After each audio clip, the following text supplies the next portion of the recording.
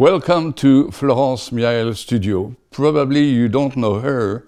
She's a great French artist and we are going to discover her work and her next feature film called The Crossing. Nous sommes aujourd'hui dans le studio de Florence Miael, dans un endroit que la plupart de vous, je suis certain, ne connaissent pas, qui sont les frigos. Les frigos, c'est quoi?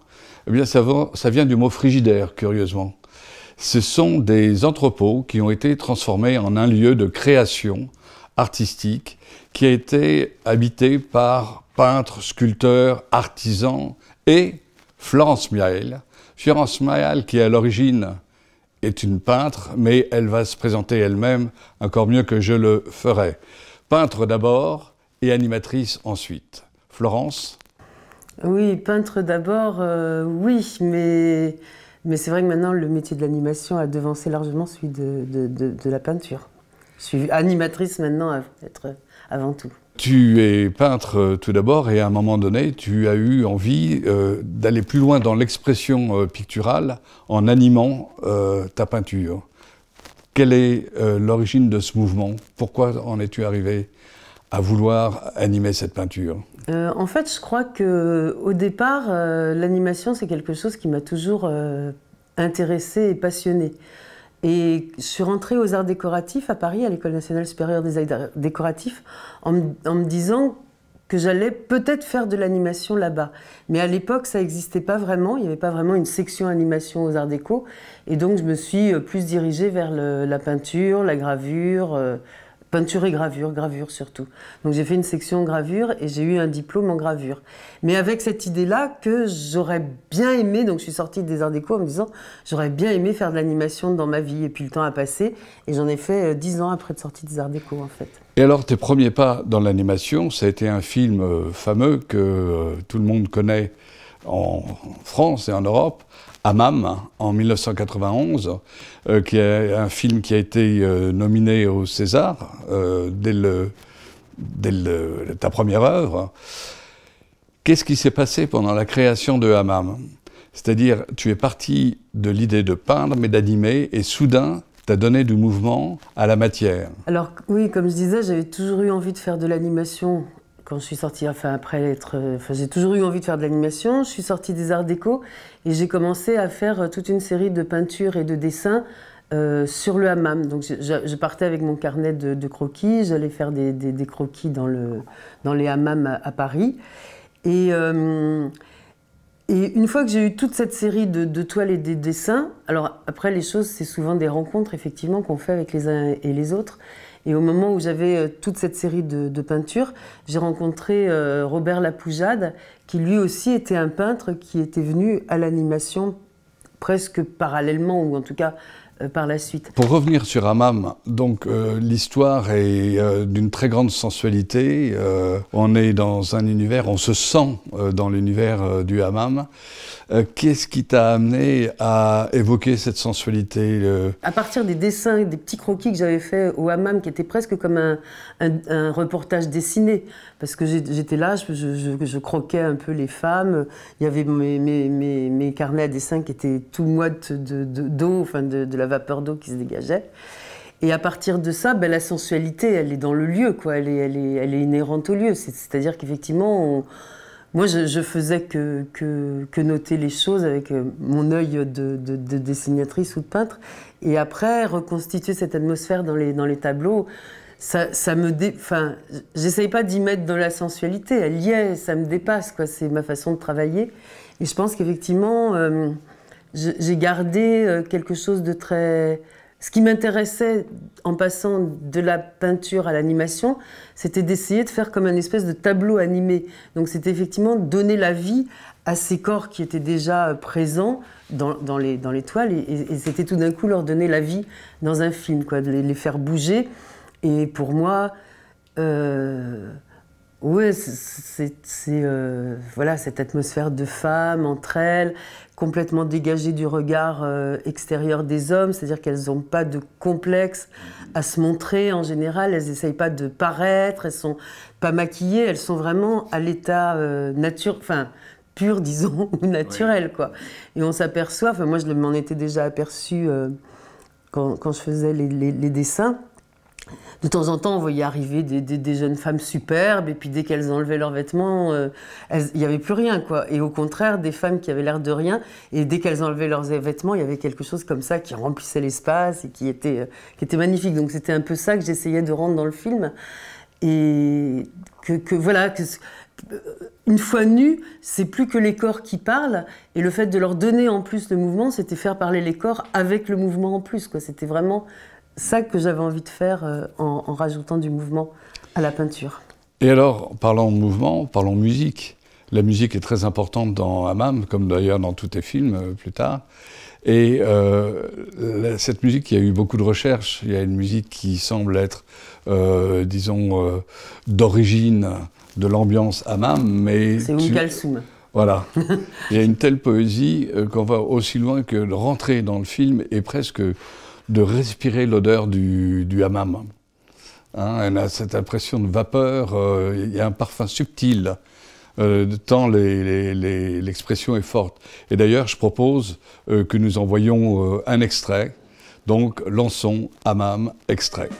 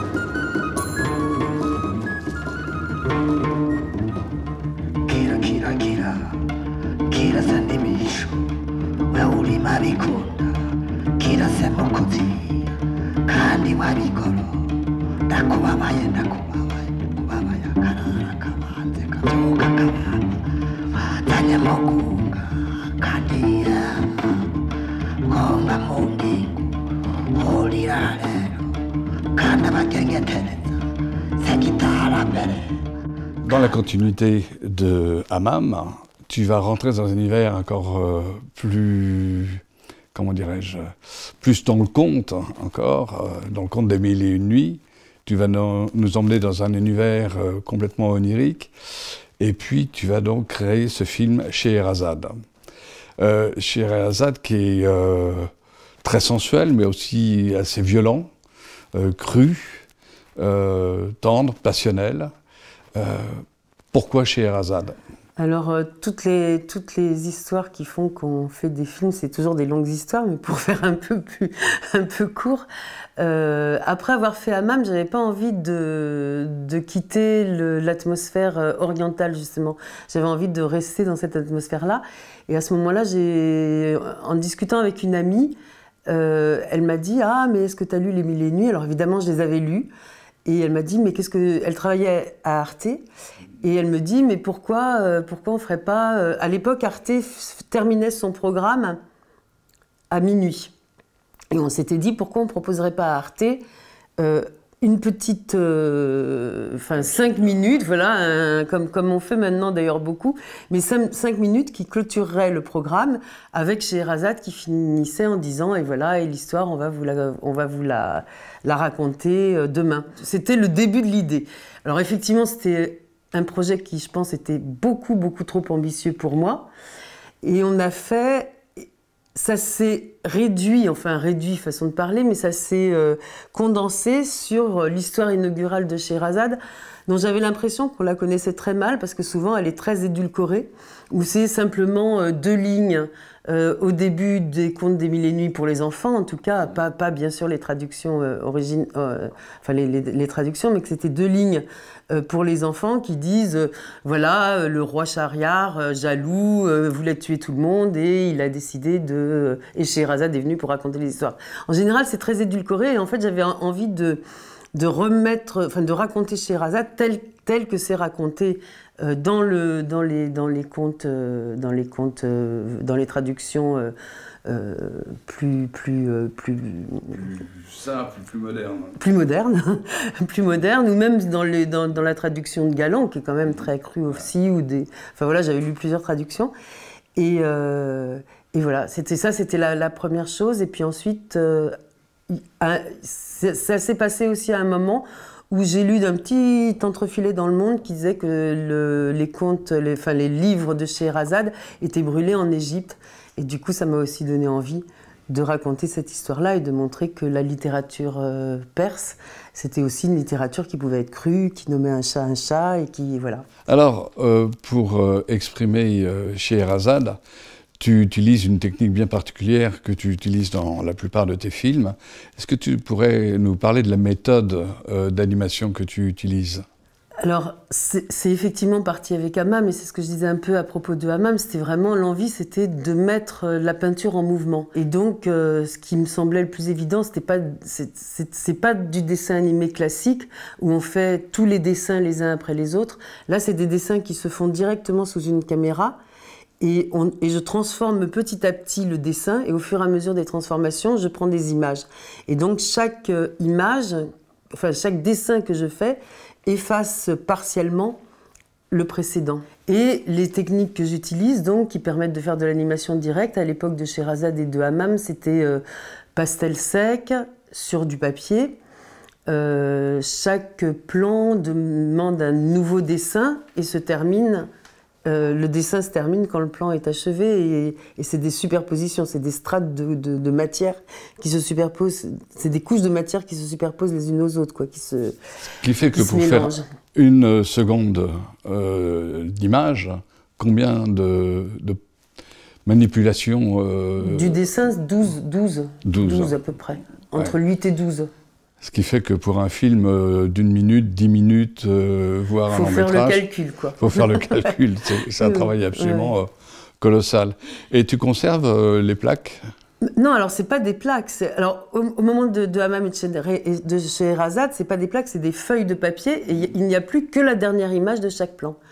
Mais quand, par exemple, le personnage sort complètement euh, du champ, Mm -hmm. eh ben, il reste rien sur, le, sur la feuille de papier que j'ai utilisée. Rien où il reste un fond, euh, un fond, quoi. Les gens sont très déçus souvent quand ils voient les, les dernières images des plans, parce que parfois il reste rien, quoi, alors qu'il y a tout, toute l'animation s'est faite sur le papier et tout disparaît au fur et à mesure. Et c'est pareil pour toutes les techniques, parce qu'après, j'ai utilisé des techniques de peinture sur verre, de sable, d'autres choses, et c'est tout disparaît au fur et à mesure que ça se fait.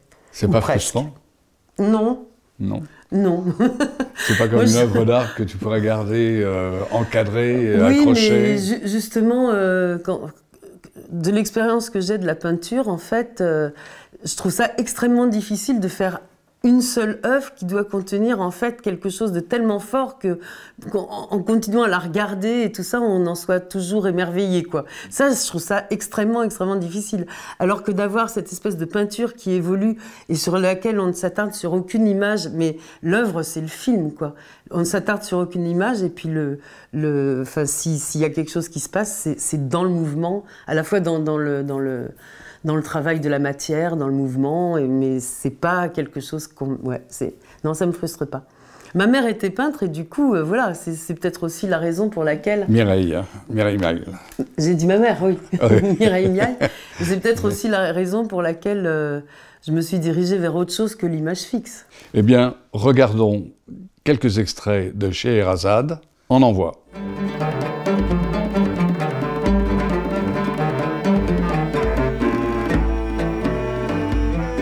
Commence le jour où Chaznan, le prince de Samarcande, arrive au palais de son frère, le puissant roi Shahriar, qui s'ennuyait de lui. Les années d'absence n'ont pas terni l'amour que se portent les deux frères. Mais seul Dieu, qui est plus sage et plus puissant que nous, pouvait connaître la désolation qu'allait nous apporter ces belles retrouvailles. Il aurait dû être content, Chaznan.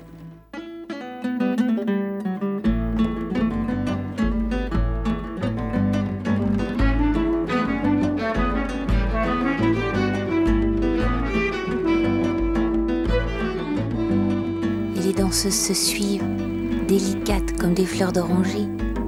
Son frère le reçoit comme un prince dans son palais.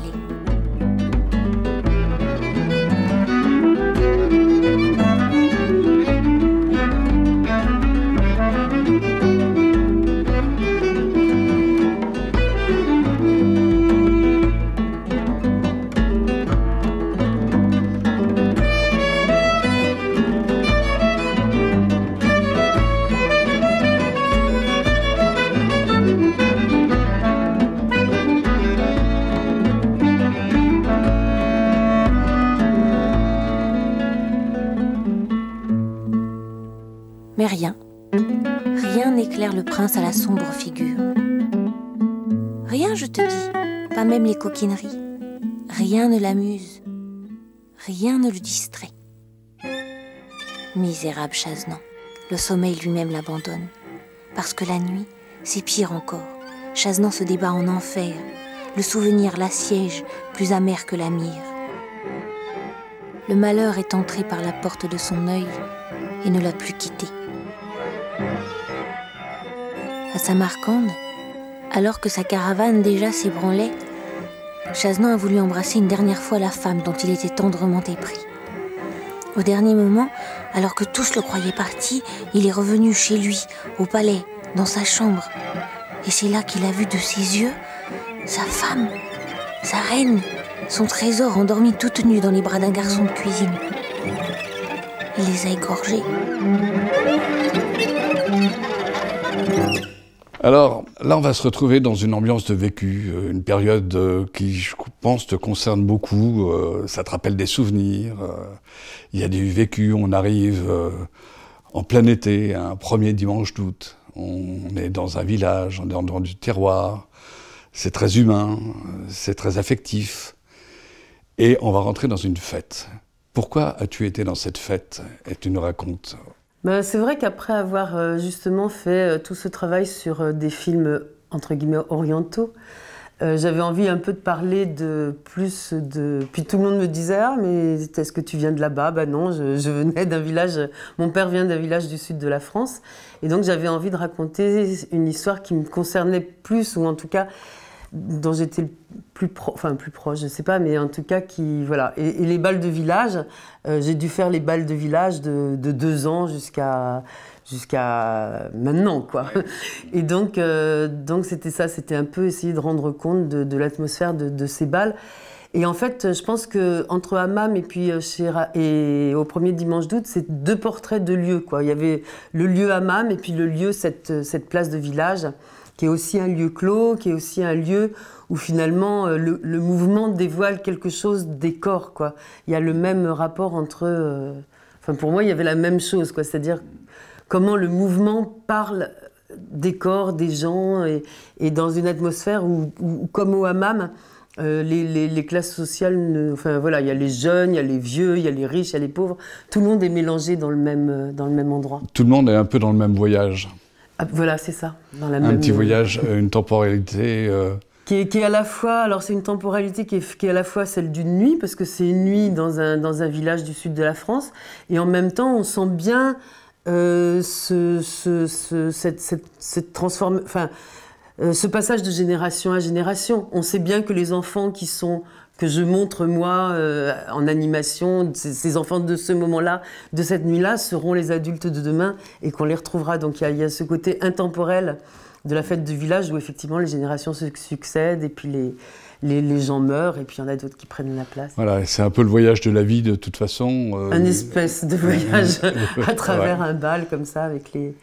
Et puis aussi ces impatiences. Euh, de ce soir, de ce premier dimanche d'août, où la fête va se passer, où des événements vont se passer, on va se rencontrer, on va se lier. On, on, on se va... rencontre, on tombe amoureux, on s'embrasse, ou au contraire, euh, on se bagarre. Enfin, il y a, voilà, c'est des petits micro-événements, mais qui font aussi les événements d'un. Qui sont eux aussi très charnels et très sensuels en fait. Oui, parce qu'effectivement là aussi le corps, euh, le corps euh, parle, se libère. Euh, voilà, les, les, les, gens qui savent pas danser se mettent à danser. Il, y a, il, y a des, peut y avoir des filles qui dansent formidablement bien et puis d'autres qui, qui, qui, essayent de suivre derrière. Voilà, c'est tout, tout ces... Et là aussi, comme pour le hammam, j'avais commencé par faire énormément de croquis dans les balles de village, comme j'avais fait des croquis dans le. Et là aussi, la, musique a énormément d'importance, elle est dans le rythme, hein, évidemment, de la fête des villages. Donc je propose qu'on regarde un extrait euh, d'un premier dimanche d'août.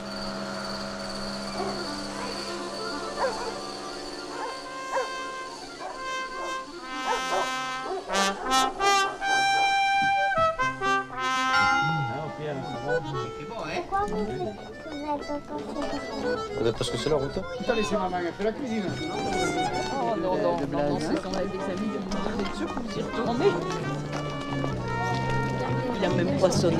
Sonné, il y a des cloches extraordinaires ici. Bon allez, on vous emmène. Il y a du monde, il y a du monde.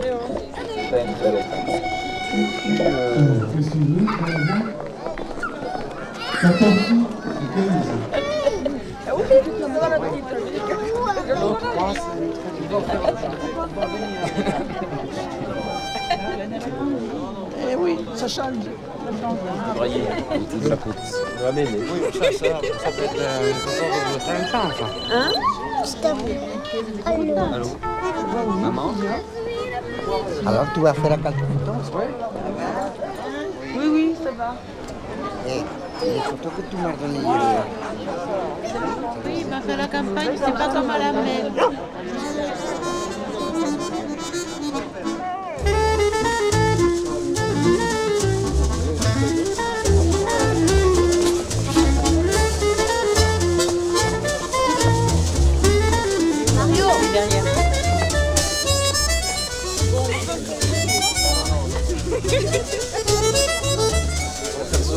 Tu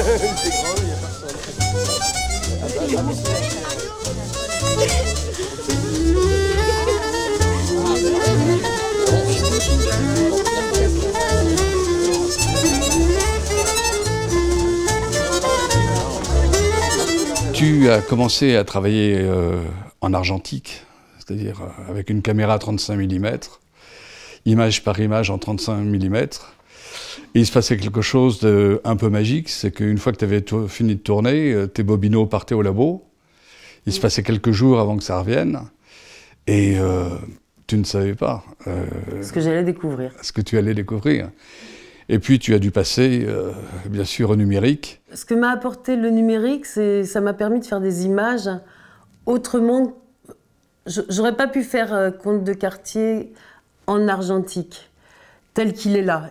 C'est-à-dire que la technique m'a permis de travailler autrement l'image, en fait. Mais par contre, euh, je pense pas que ça a joué sur l'histoire, parce que chez Razat, c'était déjà une histoire. Et ça, ça me gêne pas en fait. Mais par contre, ça change le rapport qu'on a avec le, euh, le temps de travail, justement le temps du développement de l'image, le temps de réflexion, le fait de pouvoir voir ces images au fur et à mesure. Euh, en fait, et puis, il n'y avait pas non plus euh, tout ce qu'il y a maintenant. Donc, ça, au départ, ça n'a pas changé grand-chose à ma, à, ma, façon de, filmer. Ça a changé plutôt dans la conception de l'image. L'image était plus la même, en fait. Je, pouvais faire des couches qui ensuite étaient... Euh, en fait, je pouvais travailler... Au lieu de travailler l'image dans tout son ensemble, comme je faisais pour les précédents films, où tout doit se faire au même moment, là, ça me permettait de travailler par couches. Donc, ça m'a permis d'avoir une couche pour, le, pour les décors, une couche pour les personnages principaux, une couche pour les personnages secondaires. Et grâce au procédé de, compositing, je pouvais mélanger toutes ces couches pour, euh, pour faire une espèce de ville qui était faite de morceaux épars que je pouvais ensuite rassembler, reproduire. voilà, ça a changé plus le. Après, euh, l'histoire, enfin, c'est le premier film où en fait je voulais mêler en même temps euh, ce que je, enfin, les choses que je pouvais raconter euh, comme un portrait de lieu, comme, enfin j'en ai parlé, comme à MAM et, au premier dimanche d'août qui étaient des portraits de lieu. Là j'avais envie de faire le portrait d'un quartier entre construction et démolition. Mais j'avais envie aussi d'y rajouter une histoire, parce que à MAM et, chez, et au premier dimanche d'août, il n'y a pas vraiment d'histoire. Et là j'avais envie d'assembler les deux, de faire à la fois un portrait de lieu, mais que ce soit aussi une histoire qui était racontée. Donc voilà. Mais le numérique, ça a plus changé ma façon de, de concevoir l'image. oui. Donc en 2006, euh, ce film remporte, euh, enfin, a une mention au Festival de Cannes, hein, ce qui est quand même euh, formidable. Et qu'est-ce qui te fait penser que cette mention ait été attribuée à ce film? Je sais pas. Non Tu as une, une intuition qui te dirait euh, Ah, l'originalité du film? Ouais, l'o- l'originalité. Je pense que le, le- le jury avait pas forcément l'habitude de voir des, des films d'animation qui ressemblent à ça, quoi. Mais sinon, je sais pas. Oui, C'est toujours très Disney, mystérieux, en fait. ce qui fait qu'on a un prix ou qu'on l'a pas quand on est. euh, Bah, Moi, je propose qu'on regarde un extrait euh, de Conte de quartier.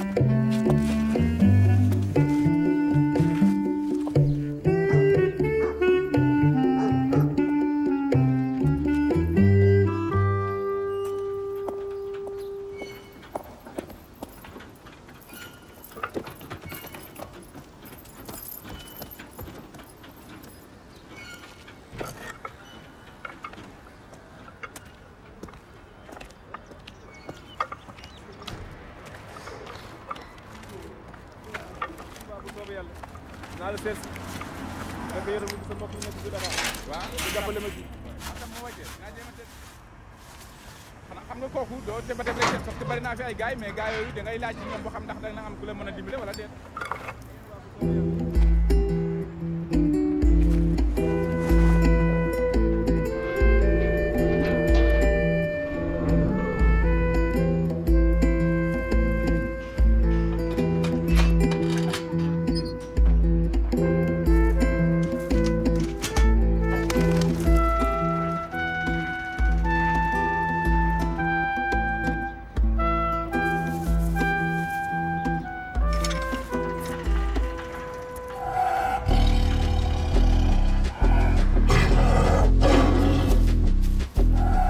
Et dans la foulée, depuis euh, 2010, où tu as reçu donc euh, le prix euh, pour euh, le premier prix euh, du scénario au festival euh, Premier Plan à Angers, tu développes la traversée et tu réalises la traversée qui euh, devrait sortir euh, sur les écrans très bientôt, Dès que ça Alors, sera possible. dès que ça sera possible, dès que les salles seront rouvertes, on va dire, ou d'autres phénomènes.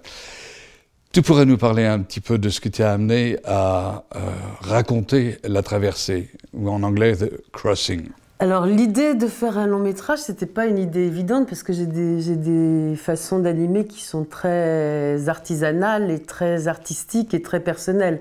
Jusqu'à présent, tous les films que j'ai faits, je les, faisais seule.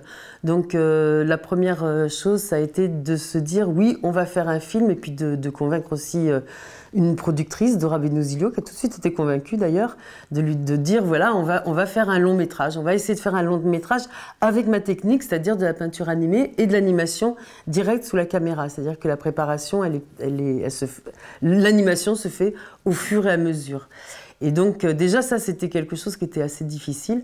Et alors l'envie c'était de l'envie de faire ce long métrage, c'est venu euh, ben, un petit peu de, de- de tout ce qui se passait autour de moi. C'était il y a plus de dix ans, mais déjà euh, le, thème des migrations était déjà, euh, enfin, euh, on n'en parlait pas beaucoup dans la presse.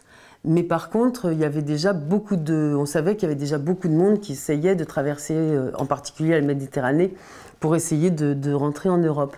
Et en fait, ça faisait vraiment écho avec l'histoire de ma famille, qui est partie en 1905 de- d'Odessa, chassée par les pogroms, à l'époque les pogroms contre les juifs, en même temps que toutes ces grandes migrations qui concernaient aussi bien les, juifs que les arméniens, enfin, qu'on a pu voir dans America, America de Kazan et dans plein de films de cette époque. Donc c'était essayer de lier ces migrations euh, d'aujourd'hui aux migrations euh, d'hier. Et, je trouvais que l'animation donnait justement le côté euh, un peu intemporel de, ces migrations. Donc en fait, on a construit le scénario avec, avec l'écrivaine Marie Desplechin, avec qui je travaille depuis déjà très longtemps en se disant qu'on voulait raconter une histoire où au départ on peut l'histoire du début pourrait être effectivement dans ce dans cette dans, dans, dans, cette euh, Ukraine des années euh, du début du XXe siècle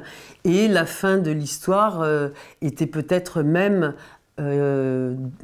dans, une Europe, euh, dans une Europe un peu future où, euh, voilà, où les choses se durcissaient encore plus par rapport aux, aux migrants. Comme on a commencé le scénario il y a dix ans, on était un peu en avance sur l'actualité et puis finalement, il a mis tellement de temps à se faire que maintenant on est euh, en plein dedans et je ne sais pas trop quand on en sortira. Ben, c'est-à-dire que de, de d'Ulysse à, enfin, oui, de, de, Moïse, de Moïse à nos jours, euh, les, peuples ont migré, ont changé de continent, ont changé de, pays, ont changé de, voilà. Donc c'était ce qu'on voulait raconter avec Marie, c'était voilà cette histoire de de migration, oui, intemporelle. C'était raconté presque sous forme de conte. Euh, voilà, c'est un peu c'est un peu les histoires des petits poussets où tout d'un coup les parents sont obligés d'abandonner euh, leurs enfants parce que la vie est trop dure, donc ils, sont obligés de les abandonner et qu'il y a forcément des moments d'histoire qui sont comme ça. C'est le conte du petit pousset, c'est un moment d'histoire tragique certainement. Les, les, les gens n'ont plus rien à donner à manger à leurs enfants. Alors qu'est-ce qu'on fait devant ça?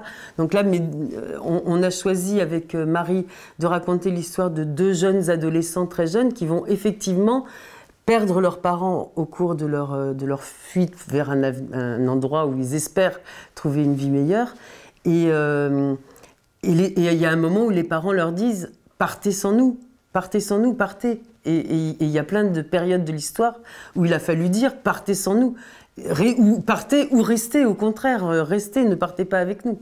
Et on, voilà, on en connaît, on en connaît tous. Donc c'est un film d'une grande universalité bah, J'espère. euh, oui, et qui euh, certainement touchera beaucoup euh, le public américain. Combien de temps a pris donc la réalisation par elle-même?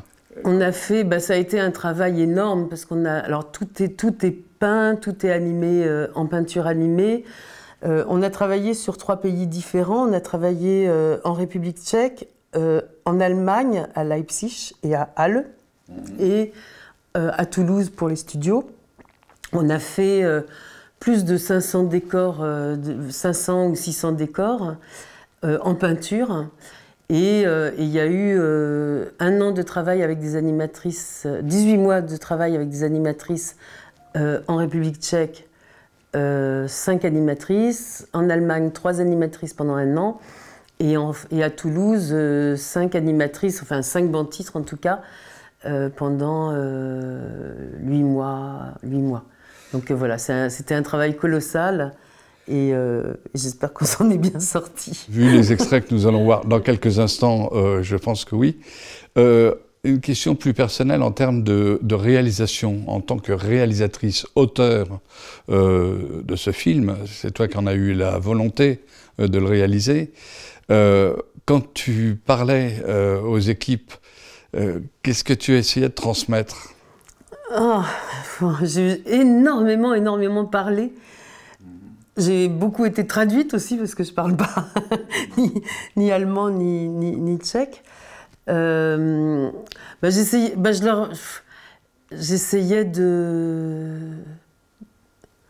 déjà de leur transmettre ce, cette, technique de, de, peinture directe sous la caméra parce qu'elle n'est pas très, très utilisée et euh, il y avait des animatrices qui, enfin, qui avaient envie, enfin il y en avait qui n'en avaient jamais fait euh, parmi les animatrices que j'avais.